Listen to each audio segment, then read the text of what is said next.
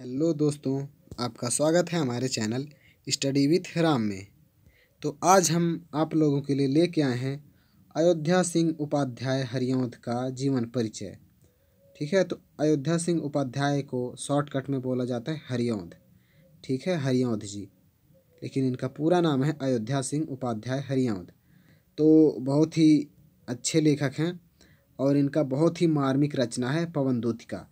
पढ़ोगे तो बहुत ही अच्छा लिखे हैं पवन दूतिका तो चलिए शुरू करते हैं इनका जीवन परिचय। तो अयोध्या सिंह उपाध्याय का जन्म पंद्रह अप्रैल अट्ठारह ईस्वी में निजामाबाद ज़िला आजमगढ़, उत्तर प्रदेश में हुआ था। इनके पिता का नाम पंडित भोला सिंह उपाध्याय था। पाँच वर्ष की अवस्था में फारसी के माध्यम से इनकी शिक्षा प्रारंभ हुई। वर्नाकुलर मिडिल पास करके ये क्वींस कॉलेज बनारस में अंग्रेज़ी पढ़ने गए, पर अस्वस्थता के कारण अध्ययन छोड़ा।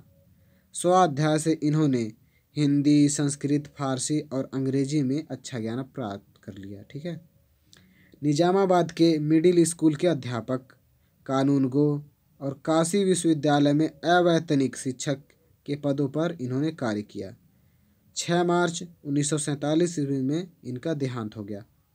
तो देखिए, बहुत ही बुरी स्थिति में इनका मृत्यु हुआ कि जब पूरा देश स्वतंत्रता की खुशियाँ मना रहा था तो इनका देहावसान हो गया, मृत्यु हो गया उन्नीस सौ सैंतालीस में।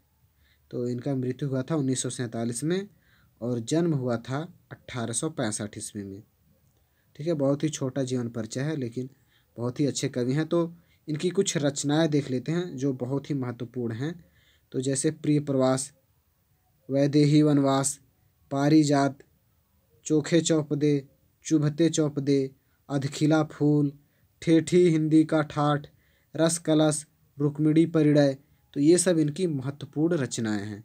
इनको आप याद रखिएगा, बोर्ड एग्ज़ाम के लिए बहुत ही महत्वपूर्ण रचनाएँ हैं। इनको आप नोट कर लीजिए, लिख लीजिए। तो मिलते हैं अगले वीडियो में तब तक के लिए धन्यवाद जय हिंद।